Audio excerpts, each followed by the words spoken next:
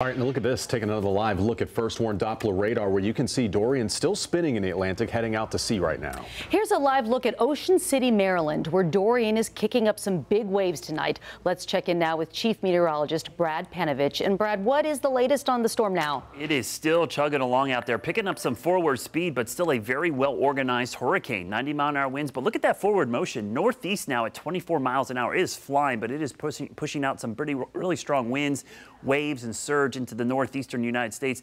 Very well defined eye, still clearly showing up on the satellite and radar imagery. You can see the rain bands affecting parts of Long Island up into the northeast. As this continues to push northeast, it will still be a hurricane for a while here, likely impacting Cape Cod and eventually eastern Canada as a hurricane. There's actually hurricane watches and warnings in effect for eastern Canada. It will eventually will weaken, but still become a large uh, extratropical system as it moves into the North Atlantic. For us locally, it's a scorcher out there. Look at these temperatures, 93 degrees out there right now. Those high school football games are going to be hot. The good news, it's not super muggy. Dew points are in the 50s. So if you're going to the games tonight, the Friday night frenzy, another warm one tonight. The good news, we're not dealing with any lightning or any rain out there, but temperatures starting off near 90, falling back into the 70s. Coming up, we're going to talk more about the heat wave, which is going to be gripping most of the month of September.